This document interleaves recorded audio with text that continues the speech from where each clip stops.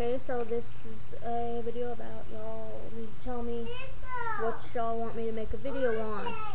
So, comment, subscribe below.